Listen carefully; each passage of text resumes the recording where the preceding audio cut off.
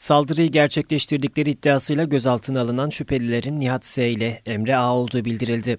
Sarı lacivertli kafileyi taşıyan otobüse cumartesi akşamı yapılan silahlı saldırının ardından yürütülen soruşturmada güvenlik güçleri olayın olduğu andan itibaren çalışmalarını titizlikle sürdürdü. Elde edilen verilerin ardından bu sabah saatlerinde gözaltına alınan şüphelilerin Nihat S. ile Emre A. olduğu öğrenildi. Kafileyi taşıyan otobüse eşlik eden konvoyun içinde bulunduğu belirtilen şüphelilerden birinin saldırıya uğrayan otobüs ve olay yerini cep telefonuyla görüntülediği tespit edildi. Sürmen Emniyet Müdürlüğü'ndeki işlemlerinin ardından şüphelilerin birinin Trabzon Emniyet Müdürlüğü'ne getirildiği, diğerinin de getirilmesinin beklendiği öğrenildi.